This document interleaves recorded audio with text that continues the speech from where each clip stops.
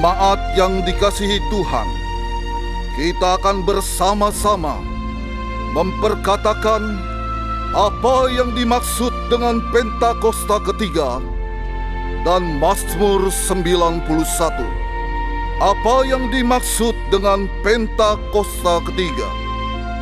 Satu, Pentakosta ketiga adalah pencurahan Roh Kudus yang dahsyat di zaman ini melebihi yang terjadi di Azusa Street. Dua, Pentakosta ketiga akan mengakibatkan penuaian jiwa yang terbesar dan yang terakhir sebelum Tuhan Yesus datang kembali. Tiga, Pentakosta ketiga akan membangkitkan generasi Yeremia, yaitu anak-anak muda yang dipenuhi Roh Kudus, cinta mati-matian kepada Tuhan Yesus, tidak kompromi terhadap dosa, dan akan bergerak untuk memenangkan jiwa. Empat, Pentakosta ketiga lahir di Indonesia dan bergerak ke bangsa-bangsa Gerakan ini dari timur ke barat dan akan kembali ke Yerusalem. Lima, Pentakosta ketiga akan memberikan kuasa untuk menyelesaikan amanat agung. Dan setelah itu, Tuhan Yesus akan datang kembali.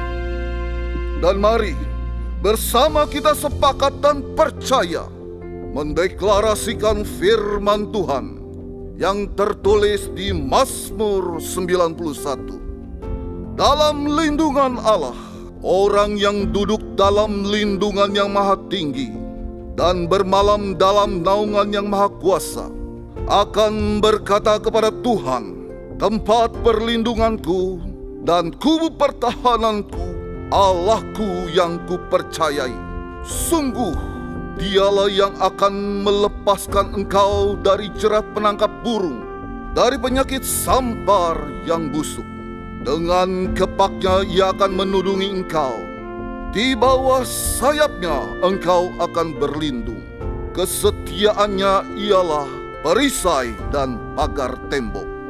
Engkau tak usah takut terhadap kedahsyatan malam, terhadap panah yang terbang di waktu siang, terhadap penyakit sampar yang berjalan di dalam gelap, terhadap penyakit menular yang mengamuk di waktu petang. Walau seribu orang rebah di sisimu dan sepuluh ribu di sebelah kananmu, tetapi itu tidak akan menimpamu. Engkau hanya menontonnya dengan matamu sendiri dan melihat pembalasan terhadap orang-orang fasik. Sebab Tuhan ialah tempat perlindunganmu, yang maha tinggi telah kau buat tempat perteduhanmu. Malapetaka tidak akan menimpa kamu, dan tulah tidak akan mendekat kepada kemamu. Sebab malaikat-malaikatnya akan diperintahkannya kepadamu untuk menjaga engkau di segala jalan. Mereka akan menatang engkau di atas tangannya supaya kakimu jangan terantuk kepada batu. Singa dan ular tedung akan kau langkahi. Engkau akan menginjak anak singa dan ular naga. Sungguh hatinya melekat kepadaku, maka aku akan meluputkannya. Aku akan membentenginya, sebab ia mengenal namaku. Bila ia berseru padaku, aku akan menjawab, Aku akan menyertai dia dalam kesesakan. Aku akan meluputkannya dan memuliakannya. Dengan panjang umur, akan ku kenyangkan dia dan akan ku perlihatkan kepadanya keselamatan daripadaku. Haleluya!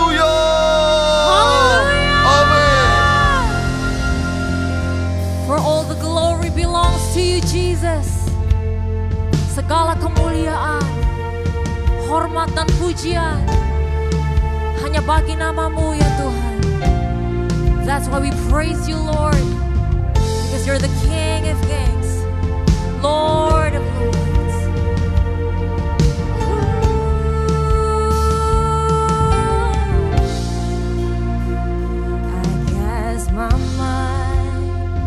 To Calvary,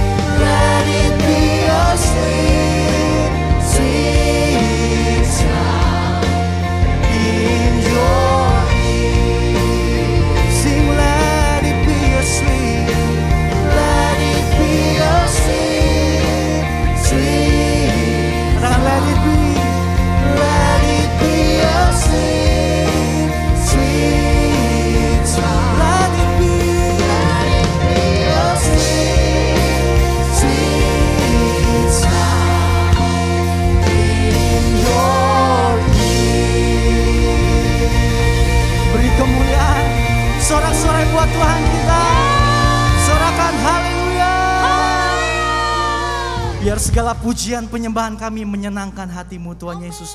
Terima kasih Tuhan, terima kasih kami siap lebih lagi hanya di dalam nama Tuhan Yesus. Haleluya. Amin. Shalom GBI Verge. Shalom. Shalom. Yang siap terima terobosan, kesembuhan sama-sama katakan amin. amin. Siapa yang percaya bahwa hidup ini adalah mujizat dari Tuhan coba lambaikan tangannya.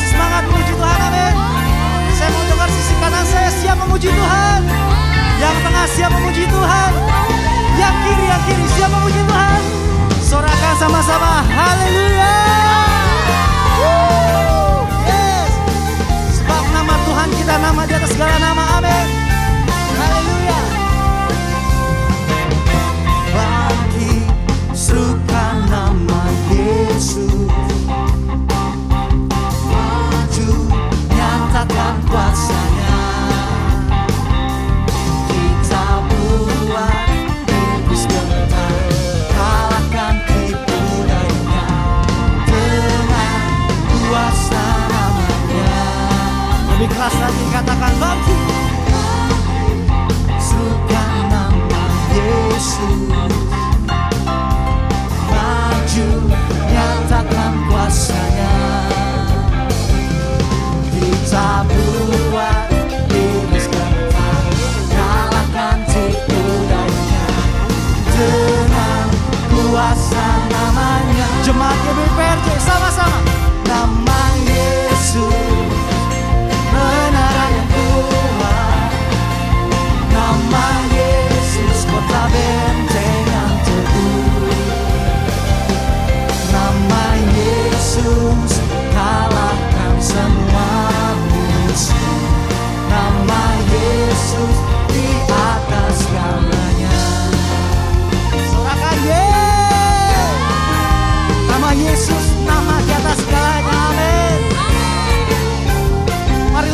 buat Tuhan sama-sama katakan Bangkit serukan nama Yesus. Mari maju, maju Nyatakan kuasanya. Kita buat iblis gentar Kalahkan tipu dayanya Dengan kuasa namanya Sama-sama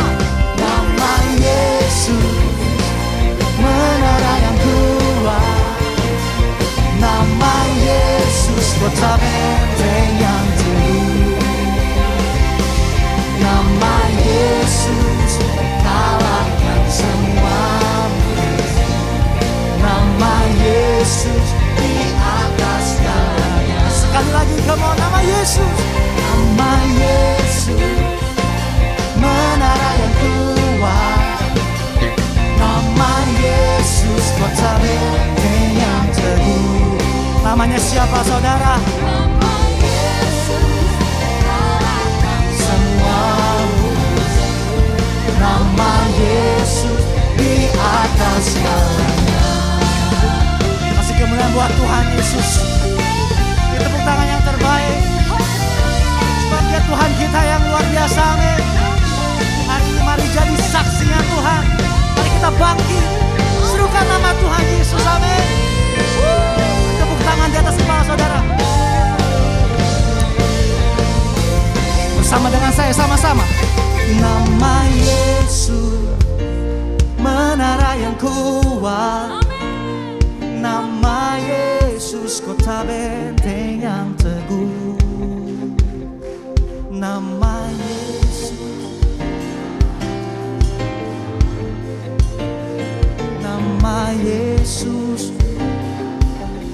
Sekali lagi ya, lebih keras lagi, come on Nama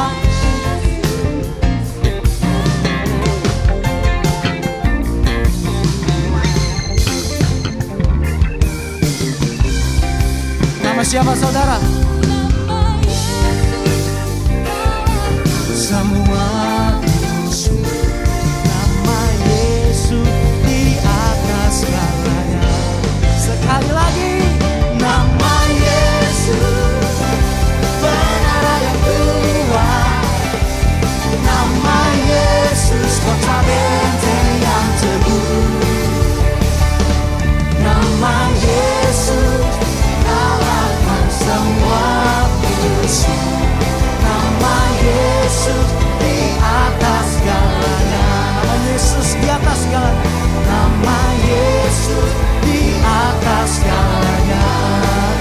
saudara.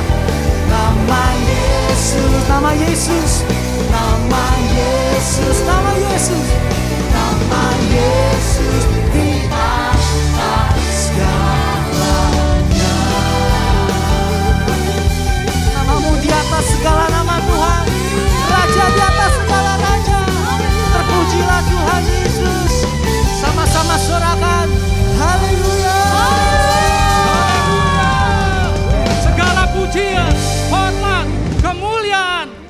nama Tuhan.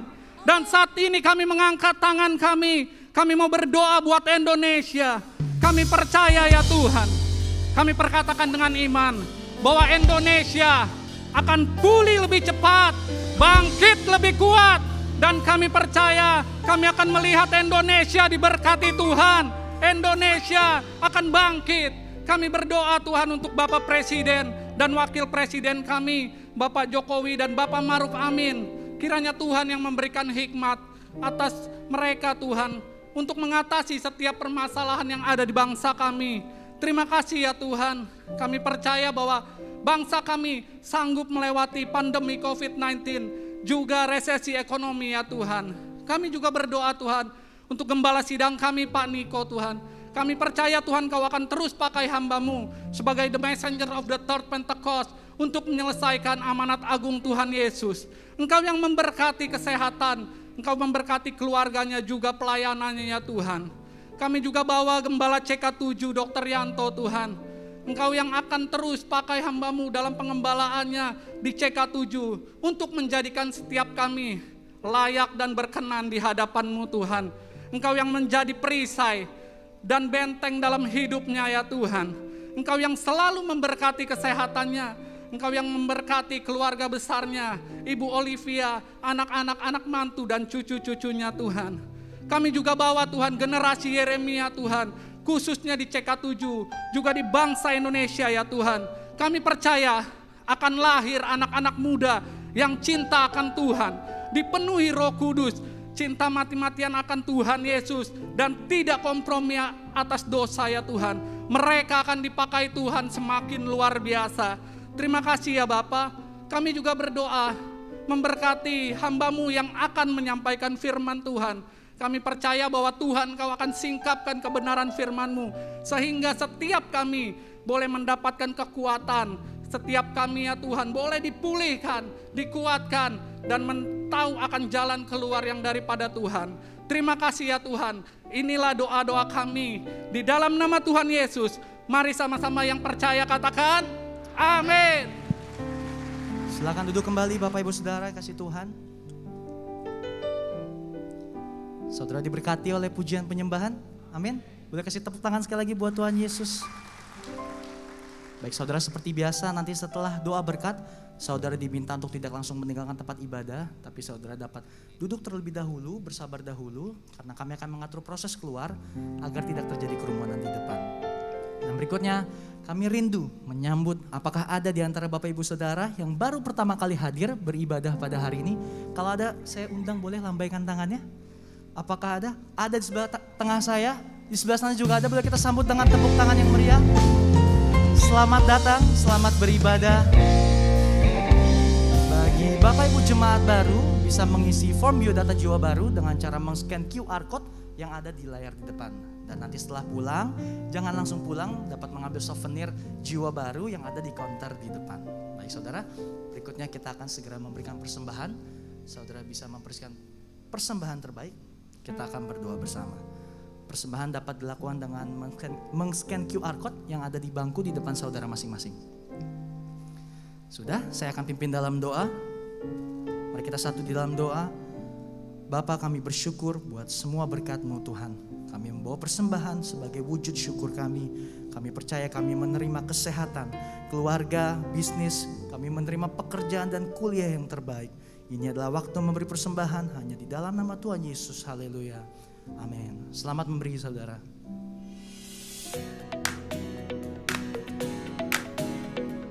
Shalom. Berikut kami sampaikan beberapa pengumuman. Ibadah Raya Onsite hari Minggu tanggal 16 Oktober 2022 pukul 9, 11.30 dan 16.30 waktu Indonesia Barat dilayani oleh Evangelis Jena Darmawan. Ibadah Raya Onsite disertai dengan ibadah onsite pemuda dan anak, yaitu King's Kid, ibadah anak berkebutuhan khusus, Little Blessing Toddler, Sekolah Minggu, Joshua Generation Kids Church English Service, Junior Church Indonesian Service, 316 Youth English Service, dan 2 PM Young Professional and Couples.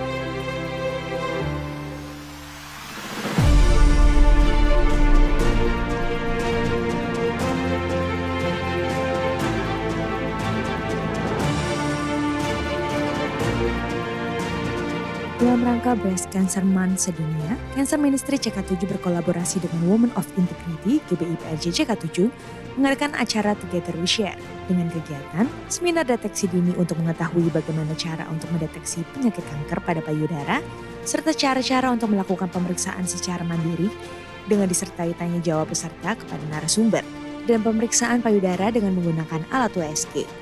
Kegiatan tersebut akan dilakukan pada hari Sabtu 22 Oktober 2022 pukul 10 waktu Indonesia Barat di Integrity Convention Center, Ruang Safir dan Pearl, Mall MGK lantai 9, Jalan Angkasa Kavling Band 6, Kemayoran, Jakarta Pusat.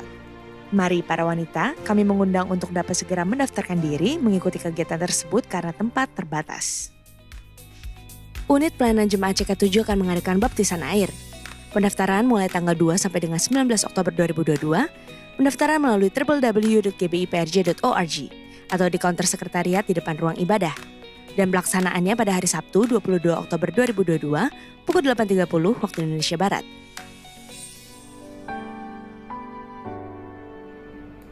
Shalom Bapak Ibu yang dikasih Tuhan Yesus Perkenalkan nama saya Maya Saya koordinator di Rumah Doa Saya ingin menyaksikan kebesaran Tuhan dalam hidup saya melalui wadah yang namanya Rumah Doa Saya mengalami pemulihan, kelepasan, kesembuhan Dan menerima banyak mujizat dalam hidup saya di Rumah Doa Hidup saya dipulihkan dan diubahkan Tuhan Bahkan Tuhan memanggil saya untuk melayani orang-orang yang mengalami begitu banyak pergumulan.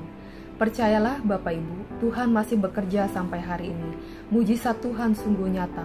Kuasa doa akan membawa banyak terobosan dan mujizat bagi hidup Bapak Ibu. Saya secara pribadi sudah mengalaminya. Mari kami tim rumah doa mengundang Bapak Ibu semua mengalami kasih dan kuasa Tuhan di rumah doa.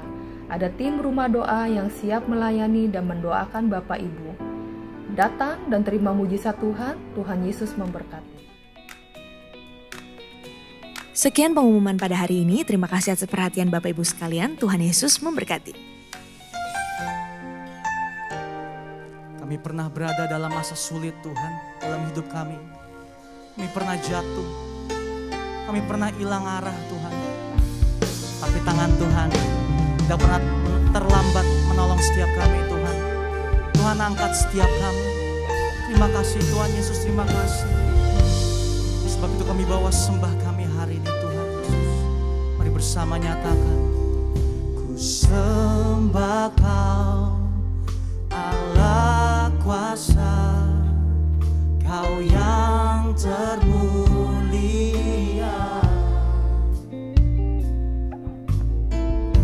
Tiada sepertimu Tuhan. Kami sembah Engkau. Ku sembah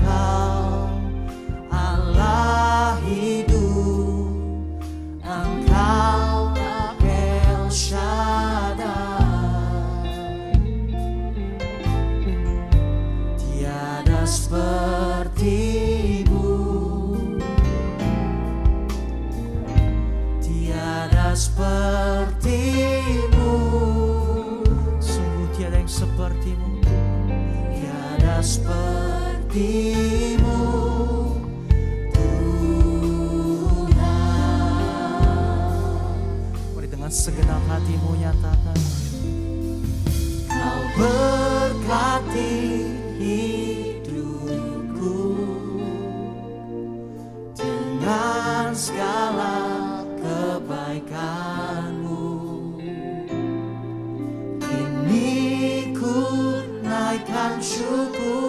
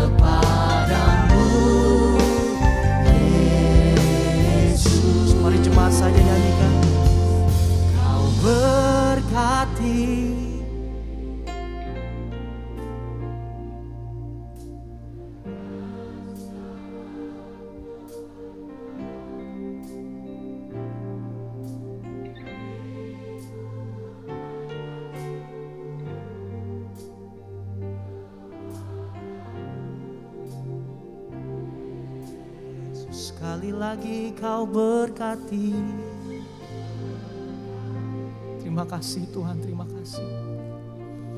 Dari lubuk kami hati yang paling dalam Tuhan. Mengucap syukur untuk segala kebaikan-Mu Tuhan.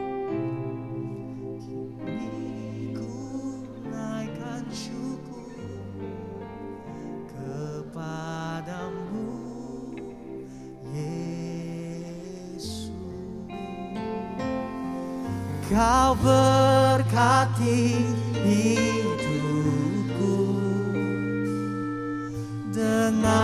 segala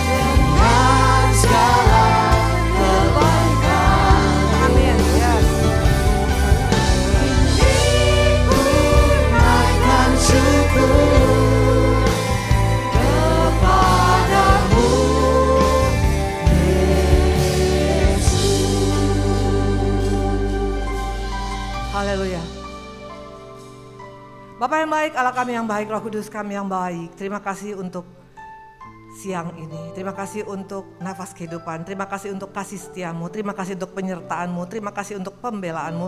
Terima kasih untuk tuntunanmu. Terima kasih, terima kasih Tuhan. Hanya itu yang bisa kami lakukan karena engkau terlalu amat baik dalam hidup kami. Sebentar kami akan masuk dalam pelayanan yang kedua jemaat-jemaat yang hadir juga Bapak, mereka haus dan lapar. Kami haus dan lapar akan apa yang menjadi pesanmu. Agar kami boleh mengerti Bapak menghadapi kehidupan ini. Langkah daripada Tuhan membuat kami kuat, membuat kami tetap pengharapan, membuat kami berubah, membuat kami mengalami perkara-perkara yang spektakuler bersama dengan Engkau. Urapi setiap kami, depan belakang kanan kiri, semua diberkati. Urapi CK7, urapi juga untuk Bapak Gembala, Dr. Yanto dan keluarga, dan juga urapi seluruh jemaat. Dalam namamu kami mengucap syukur, aku secara pribadi tidak ada yang lebih. Kalau aku masih boleh ada sampai hari ini, semua because of your grace. Hanya Tuhan, dari Tuhan, oleh Tuhan saja. Terpujilah engkau Tuhan Yesus, haleluya, amin. Tepuk tangan buat Tuhan Yesus. Silakan duduk semuanya. Shalom. Bagaimana sudah lama tidak bertemu? Eh udah baru ya bertemu ya kalau nggak salah. Sampai lupa ya oke. Kalau ini anugerah Tuhan semua kita boleh berkumpul di tempat ini. Tadi pagi saya menyampaikan uh, firmannya tentang uh, bagaimana Tuhan bisa pakai siapa saja dalam kehidupan ini. Tadi saya sampaikan tentang ada delapan binatang ya. Binatang-binatang itu semua masuk ke Batranu ya. Artinya binatang enggak menolak untuk masuk dalam proyek Tuhan. Tapi banyak kita sebagai anak-anak Tuhan menolak untuk masuk proyek Tuhan. Akhirnya engkau tidak akan pernah bisa mengalami sampai pada garis akhir. Tadi ada delapan binatang saya sampaikan. Salah satu di antaranya cicak. Ya, kenapa cicak sampai saya sampaikan? Karena sering kali kita anggap cicak itu binatang yang biasa-biasa. Padahal binatang itu ada di mana-mana, betul? Di istana ada, di penjara ada, di gereja ada, di mana? di tempat mana pun ada. Artinya apa? Cicak itu adalah pribadi yang sangat-sangat luwes, sangat-sangat supel. Ya anak-anak Tuhan kalau engkau mau dipakai Tuhan di akhir zaman ini jangan jadi jutek, betul? Betul? Udah muka pas-pasan jutek makin parah, betul? Ya, yang cantik aja jutek masih tidak cantik. Apalagi kalau yang pas-pasan jutek itu bertobatlah kita, betul? Tadi ada delapan binatang yang saya sampaikan. Tadi saya sampaikan lagi tentang ayam jago. Bagaimana ayam jago dipakai Tuhan dari yang sombong, yang arogan. Kalau berkokok itu kokoroyok, betul? Tapi waktu dia ditegur oleh oleh oleh oleh oleh apa? Oleh uh, Yunus, akhirnya dia berubah dan bertobat. Akhirnya ayam jago dipakai untuk membuat seorang Petrus bertobat. Untuk engkau bisa mengubah, untuk kita bisa dipakai Tuhan mengubahkan seorang, untuk melayani seorang. Bukan dengan memfonis, bukan dengan menghakimin, tapi dengan kasih. Tadi sampaikan ada delapan binatang, nanti boleh dengar yang pertama. Nah hari ini kita akan berbicara hal yang agak berbeda. Kita masuk yuk dalam Yosua. Yosua 6 ayat ke-23. Yosua 6 ayat ke-23 ya. Demikian firman Tuhan. Kita akan masuk. Yosua 6 ayat 23. Lalu masuklah kedua pengintai muda itu dan membawa keluar Rahab dan ayahnya, ibunya, saudaranya dan semua orang-orang yang bersama dengan dia, bahkan seluruh kaumnya dibawa mereka keluar, lalu mereka menunjukkan kepadanya tempat tinggal di luar perkemahan orang Israel. Sampai di sana. Saya ulang sekali lagi ya. Lalu masuklah kedua pengintai muda itu dan membawa keluar Rahab dan ayahnya, ibunya, saudara-saudaranya dan semua orang-orang yang bersama dengan dia. Bahkan seluruh kaumnya dibawa mereka keluar lalu mereka menunjukkan padanya tempat tinggal. Di luar perkemahan orang Israel. Sobat gitu loh Bu Indri. Apa yang spesial dari ayat ini? Ini ayat luar biasa. Kenapa bilang? Rahab ini bukan orang biasa-biasa. Memang dia mantan perempuan sundal. Ya semua orang tahu dia perempuan sundal, tapi yang luar biasa, Rahab ini dikatakan menolong bangsa Israel sampai akhirnya mereka menang melawan musuh. Karena apa? Dua pengintai disimpan oleh Rahab di atas rumahnya. Waktu raja datang bertanya di mana pengintai-pengintai, nggak tahu. Mereka mungkin lari ke sana. Akhirnya pengintai ini selamat dan akhirnya bangsa Israel bisa menduduki Yeriko. Ini seorang pahlawan, betul? Jelas. Gak ada yang berkata Rahab ini bukan pahlawan bangsa Israel. Yes, dia pahlawan. Makanya dia minta waktu itu, oke okay, saya akan tolong, tapi kalau bisa kami kau selamatkan, keluargaku kau selamatkan. Dan bangsa Israel berkata, oke okay, kalau engkau menolong, tidak memberitahukan kami ada disimpan di rumahmu, maka kami akan membuat engkau dan keluarganya semua akan terselamatkan. Tidak mati terbunuh seperti orang-orang Yeriko. Betul? Ya, nah dikatakan di sini, betul. Memang dia diselamatkan, tapi perhatikan ayat ini. Ayat ini panjang, tapi mungkin engkau melihatnya sepintas, nggak mendapatkan sesuatu. Tapi ada sesuatu yang luar biasa. Perhatikan. Dikatakan lalu mereka menunjukkan kepadanya tempat tinggal di luar perkemahan orang Israel. Memang Rahab ini ditolong. Tapi posisinya masih ada di pinggir-pinggir. Halo, sering kali kita pikir saya sudah berbuat baik Bu Indri. Saya sudah melakukan yang baik, saya sudah melayani di gereja, saya sudah ngurus keluarga saya, saya sudah ngurus perusahaan saya. Tapi nggak dianggap, itulah dunia. Kalau engkau menganggap engkau berbuat baik, pahlawan itu nggak main-main loh. Kalau kita lihat sekarang bandara, semua nama-nama pahlawan betul. Soekarno Hatta dianggap pahlawan betul. Nama jalan betul. Bahkan kalau kita lihat jembatan layang dari Bandung ke Jakarta itu namanya apa? MBZ betul. Ya itu karena dianggap sebagai orang-orang yang penting di Indonesia ini. Intinya seorang pahlawan itu pasti akan dihargai. Tapi kalau kita lihat seorang Rahab bukan tinggal di dalam kemah orang Israel. Dia tinggal di luar, tetap warga negara kelas 2. Itulah dunia. Hari-hari ini kalau engkau berharap dengan engkau berbuat baik, maafkan saya ya, saya agak terganggu dengan dia punya dengan dia punya uh, masker ini ya, karena mungkin apa hidung saya kependekan, apa hidung saya kepanjangan gitu. Turun-turun terus gitu loh. Saya boleh minta maaf gak? Itu di dalam tas saya itu ada saya punya masker. Mungkin boleh diganti? Ya, gak apa-apa ya. Tapi saya gak boleh keluar garis katanya. Tiba-tiba saya bisa hilang. Boleh gak? Ya, di dalam kayaknya ada ya, yang putih. Boleh dibuka? Jangan, nanti dibuka saya berbahaya. Nenek bilang itu berbahaya. Ya itu aja, itu aja bu. Yes. Ampunilah hambanya, boleh ya? Ya, karena hidung saya jatuh, jatuh terus. Nanti nggak kelihatan muka saya cantik gitu loh. Ampunilah hambanya. Yes, thank you. Ah, luar biasa ini. Makanya kalau kita pakai masker mesti latihan dulu di rumah 24 jam. Tuh. Kok serius banget sih semuanya?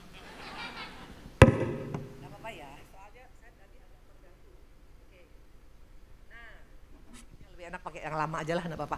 Nah, dikatakan tadi Rahab ini seorang pahlawan, tapi dia nggak diperlakukan seperti seorang pahlawan. Jadi sekedar di, hanya dihargai basa-basi. Di tempat ini mungkin kau sudah berbuat segala macam. Engkau berbuat baik di keluargamu, engkau berbuat pada bertuamu, engkau berbuat baik pada pada gerejamu, tapi nggak dianggap.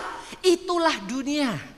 Nah, pertanyaan sekarang, waktu engkau tidak dianggap, waktu engkau tidak dianggap ya, apa yang kita lakukan? Ya, karena dunia memang berbeda. Mau engkau sudah berbuat baik, enggak jadi jaminan. Ingat ceritanya seorang Daud. Apakah Daud dianggap oleh keluarganya? No. Waktu itu seorang Isai datang. Isai datang, papanya, pap, uh, bukan. Isai memanggil seorang Samuel, betul? Hamba Tuhan seorang Samuel. Biasanya kalau keluarga kita mengundang hamba Tuhan besar datang, pasti anaknya semua diundang, betul? Tapi kalau engkau perhatikan, coba lihat ya, ini fakta. Maka di tempat ini waktu engkau mengalami different, treatment dari keluargamu, dari orang-orang yang di sekitarmu, dari gerejamu, dari tempat engkau bekerja. Jangan marah, memang itulah dunia.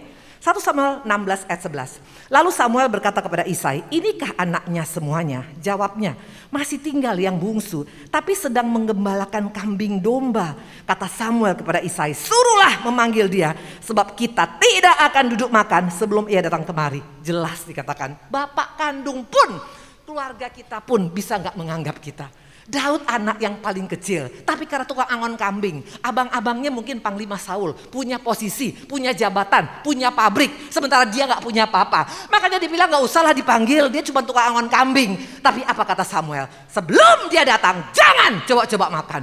Pembelaan Tuhan itu luar biasa loh. Makanya hari-hari ini jangan engkau tergantung daripada apa kata orang. Tapi apa kata Tuhan. Dunia boleh nggak nganggap engkau, dunia boleh nggak melihat engkau, dunia meletakkan engkau di posisi luar, tapi hari ini Tuhan akan angkat engkau di tengah-tengah. Ini yang luar biasa. Tepuk tangan bagi Tuhan Yesus ya. Nah, dikatakan kalau kita lihat lagi Matius 15 ayat 22 sampai 23, supaya di tempat ini waktu engkau sepertinya, tapi Bu Indri, saya di gereja nggak dianggap Bu Indri. Ya, gereja masih tetap dunia. Ya, selama masih ada di dunia, itu bau-bau dunianya masih ada. Betul? Nah coba kita lihat Matius, Matius 15 ayat 22 dan 23. Maka datanglah seorang perempuan kanaan dari daerah itu dan berseru, Kasihanil aku ya Tuhan anak Daud. Karena anakku perempuan kerasukan setan dan sangat menderita. Tapi Yesus sama sekali tidak menjawabnya. Lalu murid-muridnya datang dan meminta padanya, suruhlah ia pergi. Ia mengikuti kita dengan berteriak-teriak, tidak welcome di gereja. Ini fakta. Kenapa? Karena perempuan kanan adalah bangsa terkutuk. Dia lahir daripada suku terkutuk, yaitu Ham, Anak daripada siapa? Daripada Nuh. Nuh mengutuki anaknya. Makanya dikatakan bangsa Kanaan adalah bangsa terkutuk. Makanya nggak heran, nggak dianggap. Engkau bisa nggak dianggap, engkau bisa nggak diperhatikan, engkau bisa nggak dihargai. Itu itu terjadi. Itu terjadi kepada Daud, itu terjadi kepada Rahab. Siapa lagi coba kita lihat ya. Pertanyaan sekarang, pertanyaan apakah gara-gara ini mereka kecewa, mereka pahit, mereka marah sama gereja, mereka marah sama Tuhan. Mentang-mentang aku miskin, mentang-mentang aku janda, mentang-mentang aku bangkrut, mentang-mentang aku pernah masuk penjara, mentang-mentang ya. Nah kalau mungkin kita bilang Ibu Indri kan nggak pernah ngalamin. Ibu Indri nggak pernah ngalami, dialami seperti ini, terbuang di luar sana. Halo, perhatikan baik-baik. Saya menyampaikan ini karena saya pernah mengalami.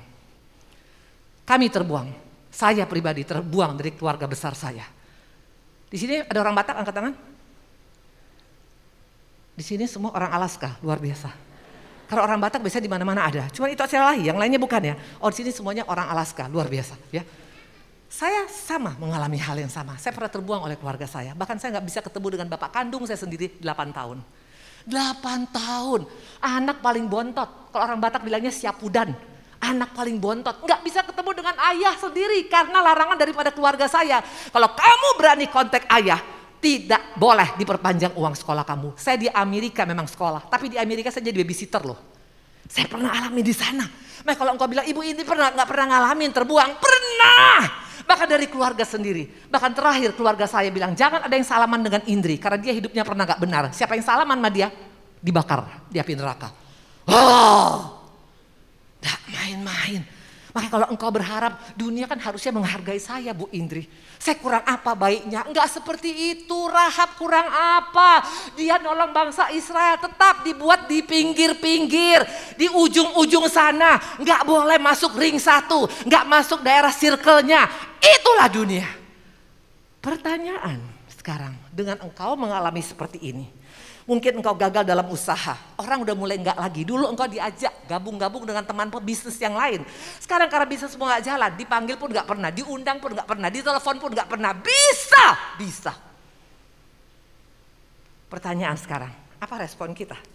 Ya sedih? Kecewa? Pahit? Pastilah. Kok bisa Bu Indri? Bisa, bisa. Pasti kita akan ngomong gitu, kok bisa Bu Indri? Saya kurang apa sama anak saya Bu Indri? Anak saya itu waktu kecil saya timang-timang, sudah dia berhasil, nggak pernah datang ke rumah saya. Bisa. Atau mungkin teman-temanmu yang dulu kau tolong udah berhasil dan engkau sekarang bangkrut. Gak pernah lagi ditelepon, gak pernah ngangkat, diblok lagi nomor kita. Bisa, bisa. Itulah dunia. Maka kalau engkau berharap di dunia ini engkau mendapatkan apa yang kau harapkan, engkau bisa kecewa. Percayalah, Rahab kurang apa kalau enggak bangsa Israel tuh mati semuanya. Gara-gara dia simpan dua orang pengintai, makanya mereka lapor kepada Musa. Begini keadaannya di Yeriko, makanya mereka bisa menghancurkan Yeriko. Tapi hanya dibuat di luar sana. Engkau sudah berbuat baik dengan keluarga, tetap masih gak dianggap. Engkau berbuat baik pada anak-anakmu, tetap gak dihargai. Engkau berbuat baik pada pasanganmu, tetap engkau juga di KDRT. Engkau berbuat baik pada gereja, tetap hanya di kelas nomor 3 atau 4. It can happen. Nah, pertanyaan sekarang. Coba kita buka 1 Samuel 1 ayat 6 sampai dengan 7. Karena saya ada di sini bertahun-tahun. Tetapi madunya selalu menyakiti hatinya, hatinya supaya ia gusar. Karena Tuhan telah menutup kandungannya. Demikianlah terjadi dari tahun ke tahun. Setiap kali Hana pergi ke rumah Tuhan, Penina menyakiti hati Hana sehingga ia menangis dan tidak mau makan. Kisah Hana ini mewakili banyak orang Kristen. Datang memang beribadah ke Seka tujuh. Tapi engkau datang mukamu tetap muram.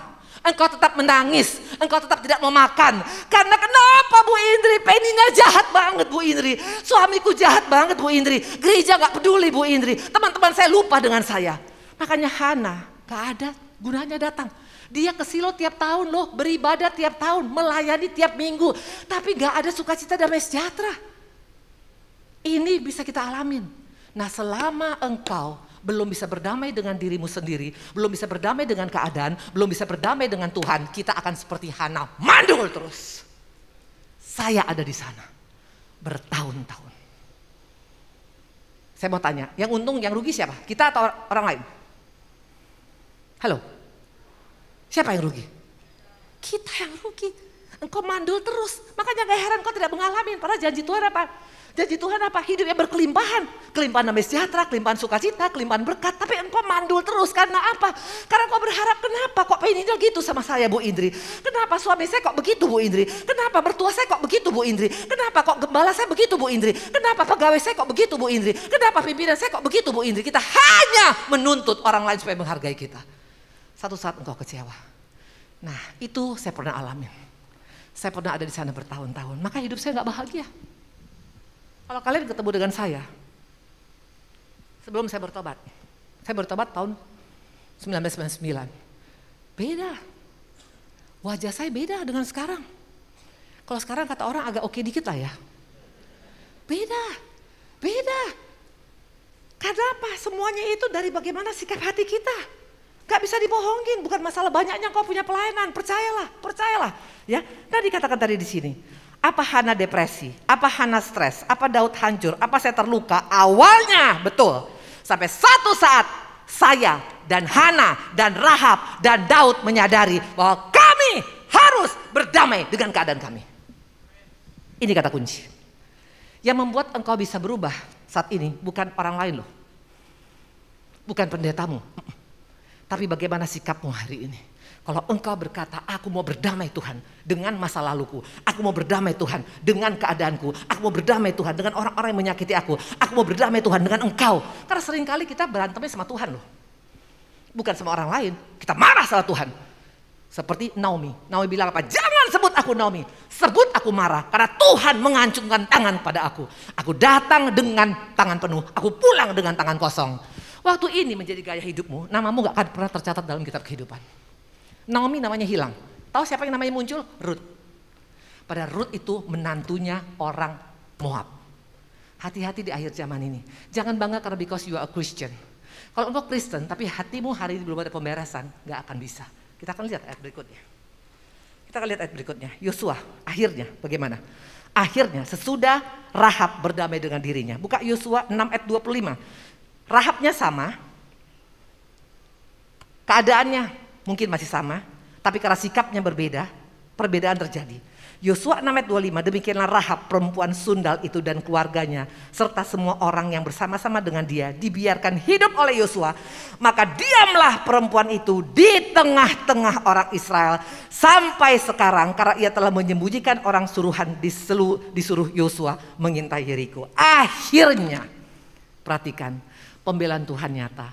Yang tadinya di luar di pinggir perkemahan, akhirnya Rahab tinggal di tengah-tengah perkemahan orang Israel. Ini pembelaan Tuhan. Ini pembelaan Tuhan. Maka jangan pernah bilang saya adalah warga negara pinggiran Bu Indri. Saya Kristen pinggiran Bu Indri. Saya hamba Tuhan pinggiran Bu Indri. Saya orang bisnis pinggiran. No, semua kita adalah center pointnya Tuhan Yesus. Tepuk tangan buat Tuhan Yesus. Halo. Jangan pernah bilang saya orang pinggiran Bu Idris, saya cuma warga negara kelas 2-nya. Saya Kristen kelas 3, Kristen KW 1, KW 2, KW 3. Enggak ada sebatuan KW 1, KW 2, KW 3. Semua kita akan ditempatkan di tengah-tengah perkemahan. Ini yang luar biasa dan itu yang saya alamin. Sesudah saya mengambil keputusan mau berdamai dengan Tuhan. Makanya sampai hari ini saya dan suami boleh pelayanan 23 tahun. Siapa aku? Orang yang tadi di luar kemah. Gak dianggap Keluarga saya nggak pernah ngundang kalau ada pernikahan. Karena dianggap Indri itu udah nggak masuk hitungan. Saya pernah ada di sana. Saya pernah nggak bertahun-tahun ketemu dengan ayah saya. 8 tahun nggak ketemu tuh nggak main-main loh. Karena nggak boleh ketemu. Dan nggak bisa ketemu. Tapi waktu engkau mengambil keputusan hari ini. Sama Tuhan hanya begini balikan tangan. Maka hari ini mari kita akan periksa. Apa yang membuat. Apa rahasia perubahan hidup Rahab, Hana, Daud termasuk saya keluar dari rasa pahit, kecewa, dan sebagai korban tadinya. Jawabannya sederhana. Semuanya bersumber dari satu, kualitas hati kita. That's it. Bukan lamanya engkau jadi orang Kristen, percayalah. Itu iblis punya mainan. Yang penting kan lu masih di CK1. Yang penting lu kan masih pakai seragam. Yang penting lu masih berkhotbah. Gak jadi jaminan. Percaya sama saya. Mana buktinya? Ayo kita lihat. Amsal. Ini adalah perkataan daripada Amsal. Amsal 23 ayat 7a. Sebab seperti orang yang membuat perhitungan dalam dirinya sendiri, demikianlah ia luar biasa. Engkau bukan ditentukan oleh orang lain. Engkau ditentukan oleh apa engkau hari ini. Kalau engkau berkata, saya mau berdamai dengan diri saya sendiri dan dengan Tuhan, maka itulah kita. Seorang warrior sejati bukan dari apa kata orang, tapi apa katamu hari ini. Makanya gak heran, makanya gak heran kalau kita lihat sekarang di sini, coba kita lihat. Waktu itu ada seorang wanita, wanita ini cantik luar biasa. Cantik luar biasa. Tapi dia merasa kurang cantik, biasanya wanita ya, mana ibu-ibu sini, coba angkat tangan. Jadi bapak-bapak semua tiba-tiba luar biasa. Perubahan yang radikal, betul? Ya, operasi apa nih semuanya? Wanita ini merasa suaminya nggak setia dengan dia. Dia kecewa. Padahal dia cantik, tapi karena merasa suaminya mendapatkan mungkin yang lebih cantik dari dia, dia pergi operasi plastik ke Korea. Semua dioperasi loh. Dari mulai dia punya alis pun dioperasi. Dari mulai alis, hidung sampai semuanya dioperasi. Dan sampai semua bagian organ tubuh dia dioperasi. Waktu dia pulang ketemu dengan dokter ahli bedah, ditanya bagaimana sekarang sudah happy karena semua sudah cantik segala macam, dia bilang no, saya nggak happy, tetap nggak happy. Dokter mulai merenungkan, tahu apa yang dokter dapat? Dokter dapat begini, betul. Memang ini orang semua sudah dibedah. Bedah muka, bedah hidung, bedah bibir, bedah semua. Tapi dia lupa satu yang gak dibedah hatinya. Kalau engkau tidak membedah hatimu, gak ada gunanya engkau ke tempat ini. Jangan hanya bedah hartamu berapa. Jangan hanya bedah berapa investasimu, pabrikmu, rumahmu, sekolahmu, pendidikanmu, sekolahmu. Tapi engkau tidak pernah bedah hati kita. Karena ingat, semua diawal dari hati. Makanya iblis main di akhir zaman ini melalui hati kita. Iblis gak takut dengan kita beribadah. Iblis gak takut dengan kita baca firman. Yang iblis paling takutkan kalau kita sudah ada pemberesan dengan hati Tuhan. Mana buktinya? Ayo kita lihat. Ingat seorang Saul, saya mau tanya. Saul itu kurang apa dia? Dari seorang Benyamin, suku yang kecil, dari yang gak diperhitungkan menjadi raja, betul? Harusnya dia bahagia dong, betul? Tapi kalau engkau baca, nggak ada tuh damai sejahtera dia. Setiap dia dalam keadaan dikatakan mulai gusar, itu dipanggil Daud main kecapi. Artinya apa? Dunia boleh kasih engkau harta, tapi kalau engkau punya hati nggak beres, itu tidak akan ada damai sejahtera. Makanya dikatakan Daud, kenapa rupanya hatinya Bu Indri? Dia dengki sama menantunya. Waktu engkau ada rasa dengki, engkau rasa marah, engkau rasa tidak bisa menerima, engkau tawar hati. Nggak bisa, percuma engkau punya segala-galanya. Satu lagi kita buka Matius, ayo kita lihat. Ini kurang apa lagi? Ya, gara-gara hati semuanya ini. Buka Matius 2 ayat 8, 16 sampai 18. Kata Herodes, ketika Herodes tahu bahwa ia telah diperdayakan oleh orang Majus, ia sangat marah Lalu ia menyuruh membunuh semua anak-anak di Bethlehem dan sekitarnya, yaitu anak yang berumur dua tahun ke bawah, sesuai dengan waktu yang dapat diketahui dari orang Majus. Demikianlah genap firman yang disampaikan oleh Nabi Yeremia. Terdengarlah suara di Rama, tangis dan ratap yang amat sedih. Rahel menangisi anaknya dan ia tidak mau dihibur sebab mereka tidak ada lagi. Bayangkan, dikatakan ketika Herodes tahu bahwa ia telah diperdaya oleh orang Majus, ia sangat marah. Hatinya penuh dengan kemarahan akibat dari hati yang tercemar, kita bisa sampai mengorbankan orang lain loh. Hati-hati. Hati yang gak beres itu bisa transfer kepada orang yang sekitar kita. Kepada anak kita, kepada pasangan kita, kepada keluarga kita, kepada gereja kita. Kepada pekerjaan kita. Dikatakan Herodes sampai membunuh anak-anak yang gak tahu dosa. Gara-gara hatinya panas. Waktu dia tahu Yesus lahir, orang majus gak bilang sama dia. Tadi dikatakan juga siapa? Saul, hatinya panas. Makanya sampai gak ada damai sejahtera Kenapa? Karena dia dengki. Waktu engkau punya hati nggak beres, jangan anggap enteng. Maka dikatakan dalam Amsal, ayo kita lihat apa pesan Tuhan. Amsal 4 ayat 23. Jagalah hatimu dengan segala kewaspadaan. Karena dari situlah terpancar kehidupan. Kehidupan kita bukan karena engkau makan ginseng Korea. Kehidupan kita bukan karena engkau makan vitamin atau di booster. Kehidupan kita bukan karena engkau punya ini dan itu. Kehidupan kita dimulai dari hati kita. Makanya iblis paling gak takut dengan orang Kristen yang beribadah. Iblis paling takut waktu kita menjaga hati. Saya mau tanya, dikatakan waktu benih itu ditanam, firman disampaikan. Ada empat jenis hati, betul? Yang pertama hati yang bagaimana? Hati yang berbatu-batu. Bukan, hati yang di pinggir jalan. Ini hati yang pinggir jalan artinya apa? Ini orang Kristen yang hanya maju, hanya cuma keluar masuk gereja. Ya, semua gereja dimasukin, kayak window shopping, betul?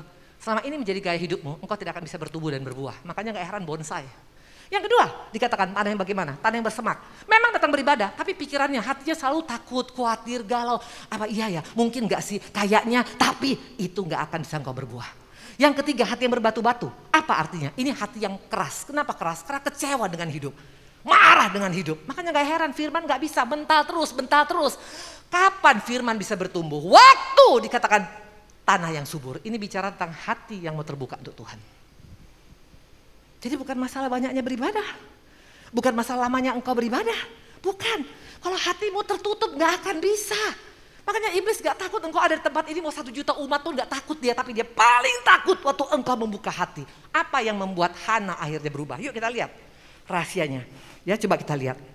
1 Samuel 1 ayat 15 dan 17 dan 18. Kapan Hana bisa berubah? Tapi Hana menjawab, bukan tuanku. Aku seorang perempuan yang sangat bersusah hati. Anggur atau minuman yang memabukkan tidak kuminum. Melainkan aku mencurahkan isi hatiku di hadapan Tuhan. Ini kata kuncinya. Waktu engkau buka hati kepada Tuhan. Akan berbeda engkau pulang dari tempat ini. Jangan hanya buka telinga.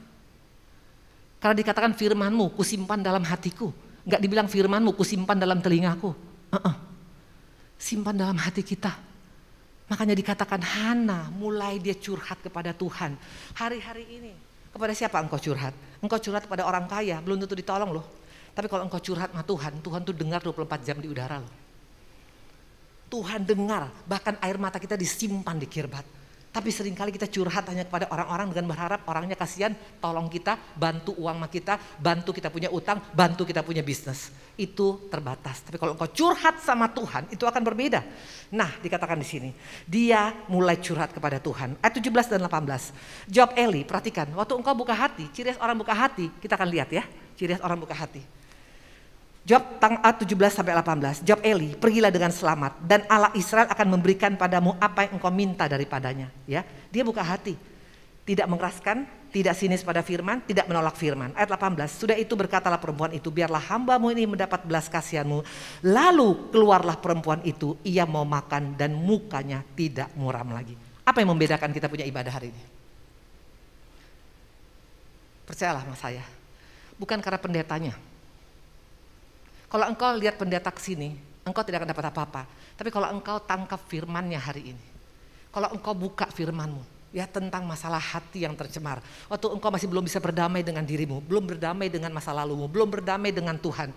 Percuma, kita seperti tanah yang berbatu-batu, seperti tanah yang semak, seperti tanah yang di pinggir jalan, tidak akan bisa bertumbuh apalagi berbuah. Tapi kalau engkau sekarang membuka hatimu dengan kau bilang Tuhan, aku mau buka hatiku Tuhan. Waktu engkau dengar firman hari ini, jangan sinis pada firman. Jangan tolak firman. Jangan bilang itu bukan untuk saya.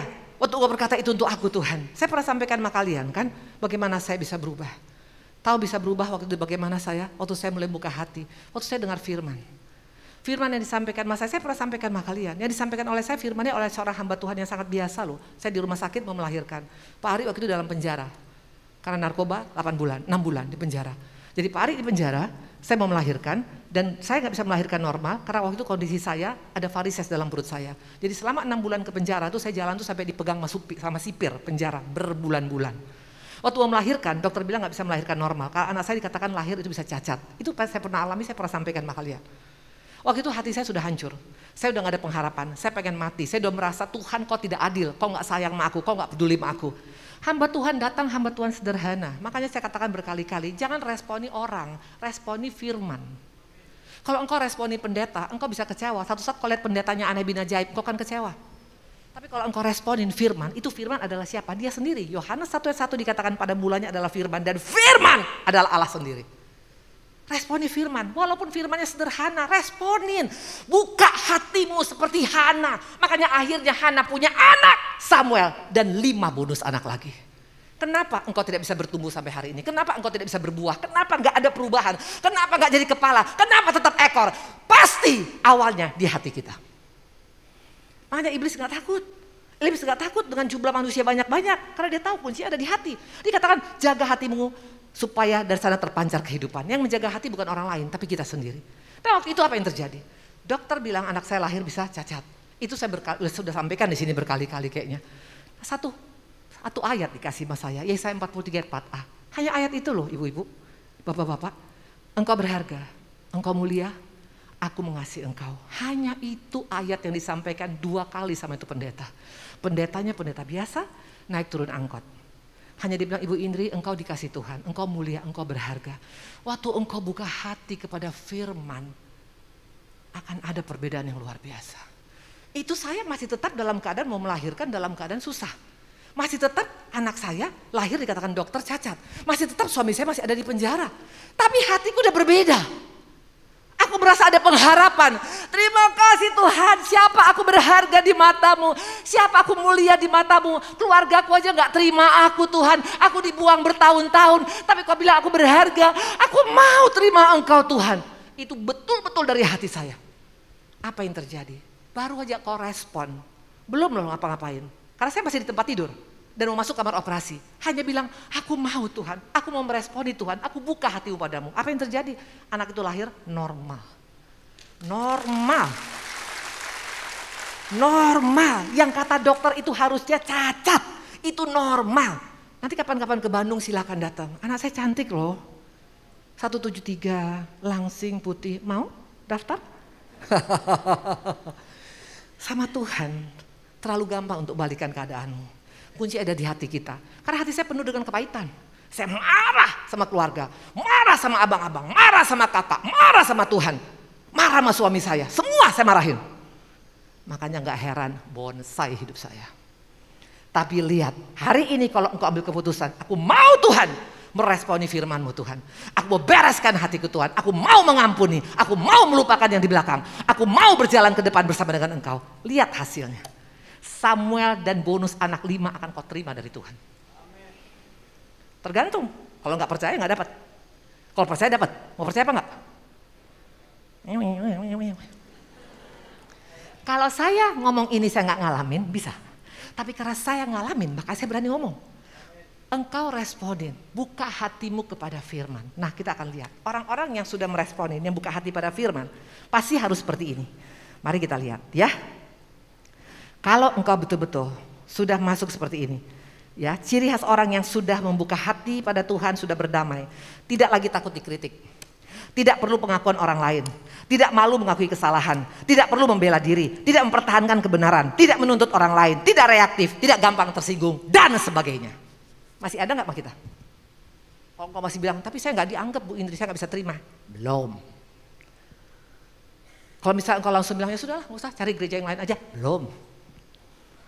Atau mungkin engkau sudah baik sama suami atau pasangan, tapi engkau tidak dianggap. Langsung engkau ngambek, nggak mau keluar dari kamar. Tiga hari tiga malam nggak makan, rugi sendiri. Amin. Karena orang yang sudah hatinya beres, itu nggak terpengaruh lagi dengan penina mau dihargai, mau nggak dihargai, mau nggak dianggap, mau nggak dianggap, nggak ada lagi masalah. Nah, sebagai ayat terakhir, mari kita lihat kehancuran daripada banyak orang-orang di Alkitab. Buka dari kejadian 4 sampai dengan 5. Tetapi Kain dan korban persembahannya tidak diindahkan. Perhatikan ya, ini dosa yang mulai terjadi sesudah Adam dan Hawa. Dosanya apa? Bukan karena makan buah terlarang, perhatikan. Lalu hati Kain menjadi sangat panas dan mukanya muram. Dari mana jatuh dosa? Dari hati. Kain marah. Kenapa Habel diberkatin? Kenapa persembahan Habel diberkatin? Kenapa aku enggak? Hatinya mulai bergejolak. Dia bunuh tuh.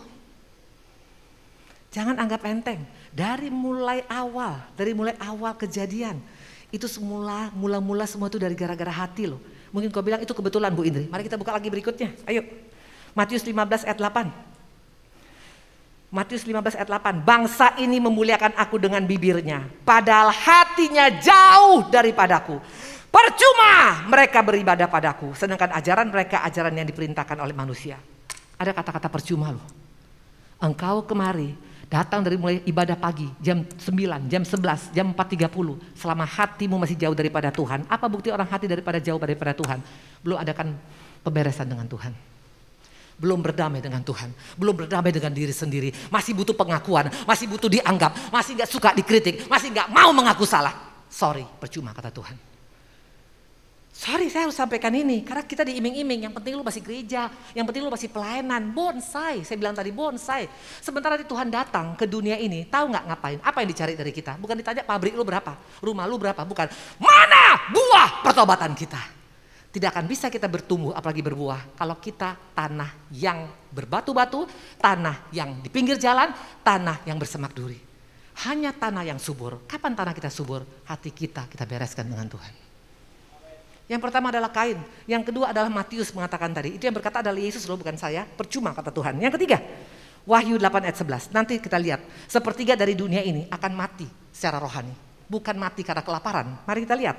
Nama bintang itu ialah Absintus. Dan sepertiga dari semua air menjadi Absintus. Dan banyak orang mati karena air itu sebab sudah menjadi pahit. Jelas. Hati yang masih tercemar, hati yang pahit membuat kita nggak bisa bertumbuh. Kita mati secara rohani. Di tempat ini engkau boleh beribadah, engkau boleh pelayanan, engkau boleh tahu firman, engkau boleh baca, engkau boleh hafal semua. Tapi kenapa enggak ada buah pertobatan saya? Orang bisa ngelihat, bisa. Orang bisa ngelihat karena orang lihat kita bukan ngelihat dari baju kita, dari buah kita. Dulu cerewet, sekarang nggak cerewet. Dulu pelit, sekarang suka memberkatin.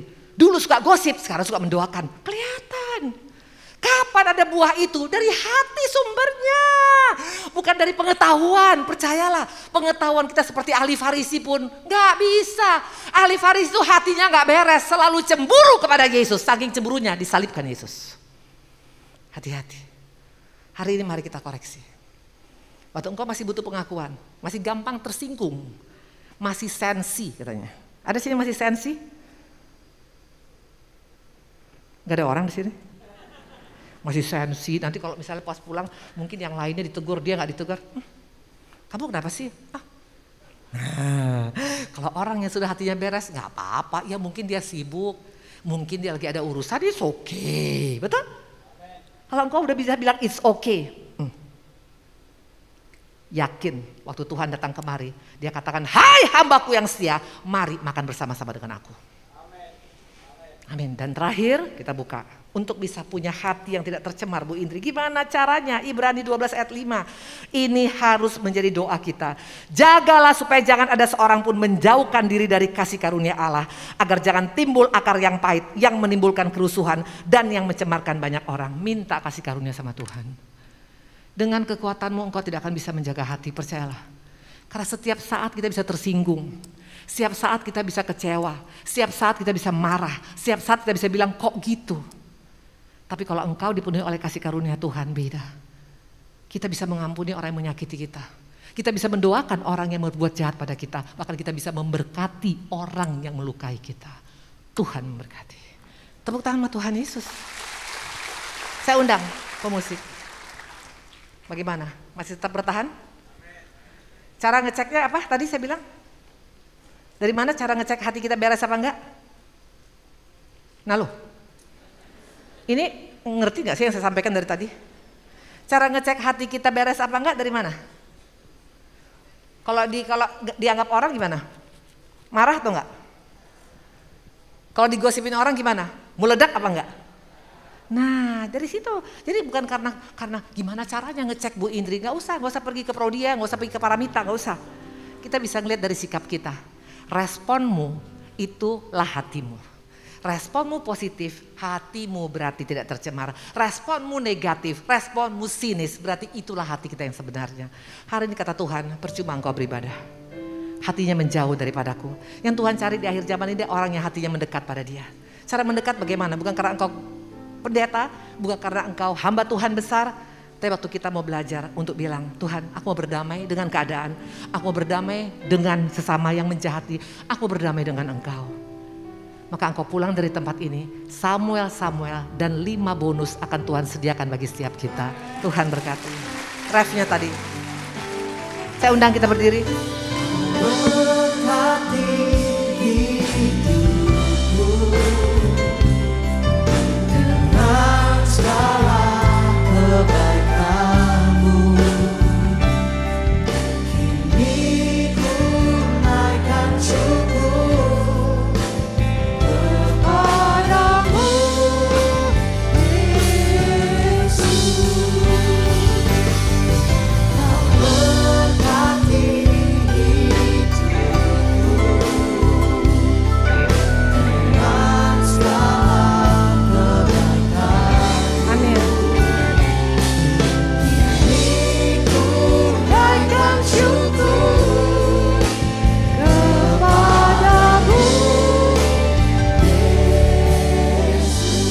Bapak-bapak, ibu-ibu, saya percaya kalau saya sampaikan firman ini, berarti ada di sini yang bermasalah dengan hatinya.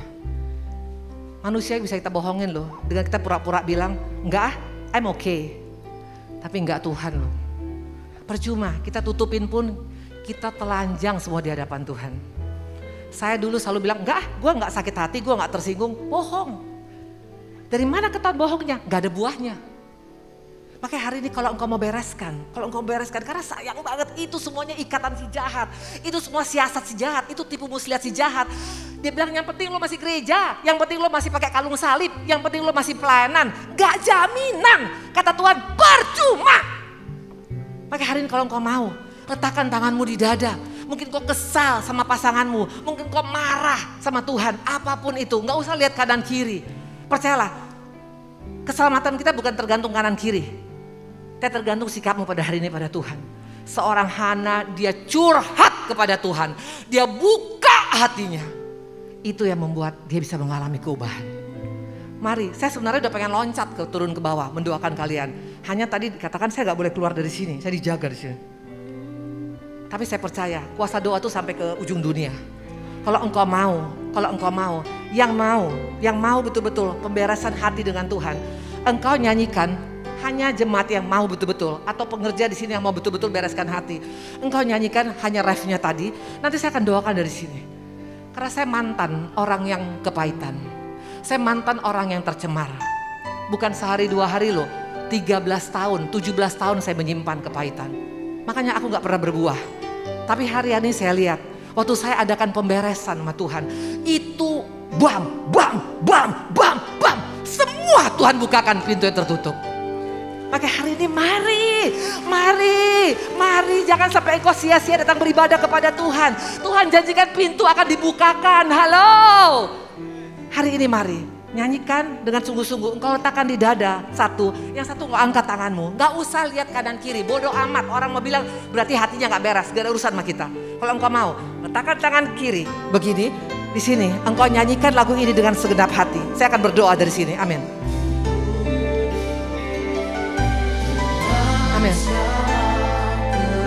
Yes, yes, yes. Amin. Naikkan syukur. Amin, amin. Hanya jemaat saja, hanya jemaat saja, hanya jemaat saja. Yang angkat tangan, engkau nyanyikan. Yes, amin Tuhan, engkau ada tempat ini Tuhan. Dalam nama Tuhan Yesus. Dalam nama Tuhan Yesus. Belas kasihanmu Tuhan. Hanya kasih karuniamu Tuhan yang membuat kami mampu untuk melepaskan Bapak segala kepahitan, segala kemarahan, segala kekecewaan dalam nama Tuhan Yesus. Tuhan berkarya Tuhan. Lepaskan dia Bapak, lepaskan dia Bapak, lepaskan dia Tuhan dalam nama Tuhan Yesus, dalam nama Tuhan Yesus, dalam nama Tuhan Yesus, dalam nama Tuhan Yesus, dalam nama Tuhan Yesus, dalam nama Tuhan Yesus. Tuhan belas kasihanmu Tuhan. Kalau aku bisa kau bebaskan Bapak dari hati yang tercemar, teman-temanku, sahabat-sahabatku di tempat ini Bapak, belas kasihanmu Tuhan. Iblis penuh dengan tipu muslihat.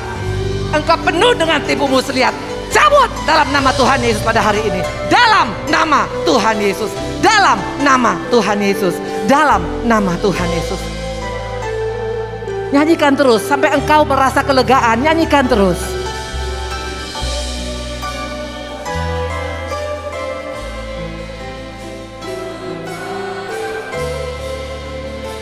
Sama-sama.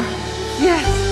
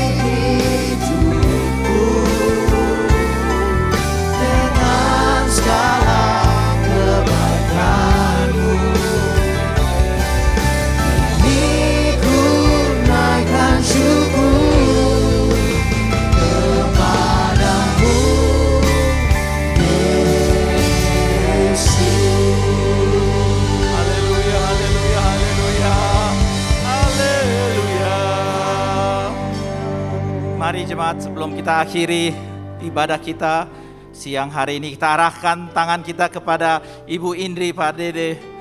Oh Allah yang dahsyat, terima kasih Tuhan untuk firman yang telah dibawakan oleh Ibu Indri. Agar menjadi rema bagi kita semua, dipulihkan Kami berdoa untuk keluarga Ibu Indri, suami, anak-anak dan keluarga besarnya senantiasa ada dalam lindungan Tuhan. Engkau berkati dia dengan berlimpah-limpah. Pelayanannya engkau perluas dan banyak jiwa dimenangkan dalam nama Yesus. Haleluya, haleluya. Hamba siang hari ini juga berdoa bagi jemaat yang hadir saat ini. Mereka yang sakit Tuhan engkau sembuhkan dalam nama Yesus Kristus. Mereka yang berbeban berat, Tuhan beri kelegaan. Dan mereka yang terikat, oh Tuhan engkau lepaskan dalam nama Yesus saja.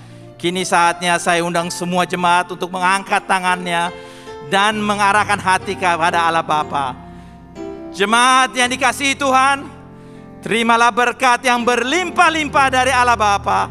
Kasih anugerah dari putranya yang tunggal Tuhan kita Yesus Kristus dan persekutuan yang manis dengan Roh Kudus menyertai kita mulai siang hari ini sampai Tuhan Yesus datang kedua kali menjemput kita di atas awan-awan yang permai bahkan sampai selama-lamanya. Semua yang percaya dan diberkati sama-sama katakan amin. Amin. Shalom saudara, menurut kalender Ibrani pada tanggal 26 September 2022, kita sudah memasuki tahun 5783 yaitu tahun Pegimel.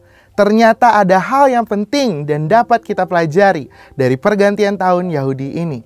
Pada umumnya peristiwa tahun baru dilewati dengan segala kemeriahan seperti berpesta. Tetapi tahukah saudara bahwa di balik kemeriahan yang dilakukan oleh bangsa Yahudi dalam peringatan tahun baru atau yang umum dikenal sebagai Rosh Hasana ada makna yang lebih dalam. 10 hari pertama setelah tahun baru, orang Israel memiliki tradisi bertobat dan mengakui dosa mereka di hadapan Tuhan.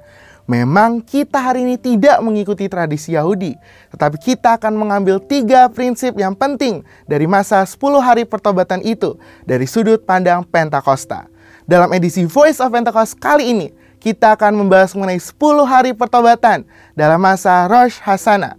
Pertama adalah pertobatan yang meliputi perubahan paradigma, penyesalan dan keputusan untuk berubah yang diwujudkan dengan usaha untuk memperbaiki diri dari kesalahan yang telah dilakukan. Hal ini sesuai dengan iman Kristen, di mana kita diminta untuk mengalami pembaruan budi agar dapat mengerti kehendak Allah yang baik, berkenan, dan sempurna, supaya hidup kita dapat menjadi persembahan yang hidup, kudus, dan berkenan. Tujuannya bukanlah untuk menimbulkan intimidasi, tapi dengan pengakuan dosa kepada Tuhan, kita memohon agar Ia mengampuni dan menyucikan kita dari segala kejahatan. Komitmen untuk hidup benar selaras dengan semangat kekudusan insan Pentakosta, di mana insan Pentakosta dipanggil untuk hidup dalam roh dan bukan dalam daging. Kedua adalah berdoa. Pertobatan yang benar diutarakan melalui doa sebagai wujud penyerahan diri kepada Allah dan kesadaran bahwa tidak dapat bertobat tanpa kekuatan dari Allah. Orang Yahudi mengingat bahwa penting untuk berseru kepada Tuhan selagi ia mau ditemui. Seperti yang terdapat dalam Alkitab, misalnya seruan pertobatan Elia untuk bangsa Israel, seruan pertobatan Yosia, dan juga Nehemia. Sedangkan dalam kekristenan, pengakuan dosa dan doa sangat berhubungan erat di mana Rasul Yakobus mengajarkan bahwa kita perlu saling mengaku dosa dan mendoakan agar dapat sembuh dan pulih dari akibat dosa tersebut. Bagi orang Kristen, doa lebih sebagai bentuk komunikasi antara manusia dengan Allah, termasuk dalam hal pertobatan. Marilah kita membangun kembali hubungan dengan Allah melalui doa yang dipimpin oleh Roh Kudus. Hal ketiga yang biasanya dilakukan bangsa Yahudi dalam 10 hari pertobatan adalah berbagi kepada orang yang memerlukan. Mereka mengumpulkan uang melalui nampan persembahan di sinagoga-sinagoga yang akan disalurkan kepada mereka yang membutuhkan. Semangat berbagi ini pun juga diajarkan Tuhan Yesus dalam Matius 25 ayat 31 sampai 46 di mana Yesus menyamakan antara melayani orang-orang yang dianggap hina seperti yang kelaparan, sakit, dalam penjara, dan tidak memiliki tempat tinggal sebagai bentuk pelayanan kepadanya. Oleh karena itu, hal bersedekah dan berbagi kepada orang yang membutuhkan merupakan hal yang penting dalam kekristenan. Marilah kita melakukan sedekah dalam masa pertobatan agar kita dapat meningkatkan belas kasihan dan rasa syukur atas pengampunan yang telah Tuhan berikan. Kesimpulannya, ketiga hal yang dapat dilakukan dalam masa peringatan Rosh Hasana tersebut adalah baik, jika dilakukan dengan motivasi yang benar, bukan untuk mendapatkan keselamatan, tetapi sebagai respon terhadap anugerah keselamatan yang sudah diberikan melalui pengorbanan Yesus di kayu salib. Melalui pemaparan di atas, marilah kita introspeksi diri kita dan bertobat dari hal-hal yang tidak kudus. Percayalah kasih dan rahmat Tuhan selalu baru setiap hari, setiap bulan, dan setiap tahun bagi kita orang percaya. Amin. Untuk penjelasan lebih lengkapnya dari tim teologi kami, silakan buka link yang ada di atas atau scan QR code yang tersedia. Maranatha, Tuhan Yesus memberkati kita semua.